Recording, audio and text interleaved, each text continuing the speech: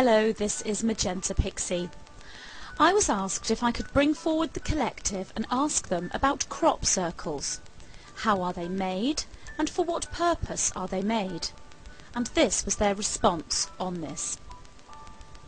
Dear Pixie, Crop circles are created by the circle makers.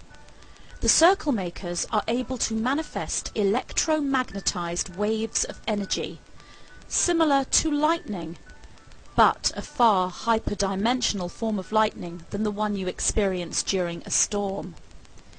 These manifested energy waves are living entities. They are extraterrestrial time-traveling waves, or pulsars might better explain them. Man's questionings and seekings have always been to remember who they are and why they are here. The circles come to remind us of these very things. They awaken and decode our DNA. Each crop circle is made by a different vibratory pattern, each as different as snowflakes or fingerprints. Each have their own energy signature. So who are these circle makers? Those who are ultimately the creative force behind these waves of lightning-type energies. Why you, of course? Humanity on Earth. You are the circle makers. You create the crop circles with your very consciousness, your thoughts, your questions. The combined thoughts of humanity on Earth, when focused together, create a vortex of frequency in response and the polarity symbols to those thoughts, the answers to the questionings of man, as it were, manifest the circle maker energies to create the crop circle symbols.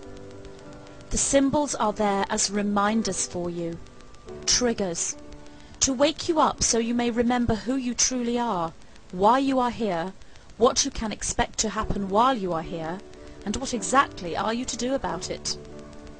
The answers to your most profound questions are all there in the crop circles. Take note of the messages, even if you do not understand them with the logical mind.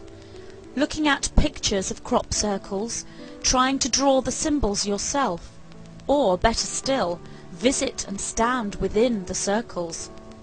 The energetic blueprint of the circle will raise your vibration and activate your DNA.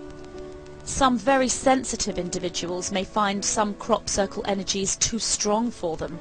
This is because they are already vibrating at the highest frequency point for their current evolution, and their physical form can hold no higher frequency at that precise point. But for those who currently can raise higher, crop circle energies will activate this raising of frequency and precipitate healing where needed. So the collective consciousness of humanity literally creates the circle maker energies. Are these circle maker energies then independent of humanity or are a representation of their consciousness in another form? The answer to this is both. The living electrical lightning forces that actually create the circles are pure consciousness acting as it is directed to do. This is the pure science of it, as it were. The metaphor to this natural force gives us the intelligence behind it, so we may see clearly with the third density human brain what the crop circles are. They are communications from the higher self-consciousness of humanity to the lower self-consciousness of humanity. The higher self-consciousness of humanity encompasses a wide field. Therefore, is it extraterrestrial entities creating the circles, or the Earth itself? Is the energy beamed from above, or coming up from the ground? Again, it is both. The cosmic and Earth energies combine together to manifest a higher self-communication to humanity's lower self-consciousness. For humanity's higher self-consciousness is extraterrestrial and is the planet Earth. So does this then mean that crop circles are messages from an advanced extraterrestrial race, delivered here to help us in some way? Yes, indeed, that is exactly what they are. You are that advanced extraterrestrial race, dear humans, and it is that advanced extraterrestrial race, your higher self, that shall be manifest within you in its entirety when you return to the core at the winter solstice 2012. And when that happens, you shall indeed see that making crop circles is child's play. We are the white-winged consciousness of nine.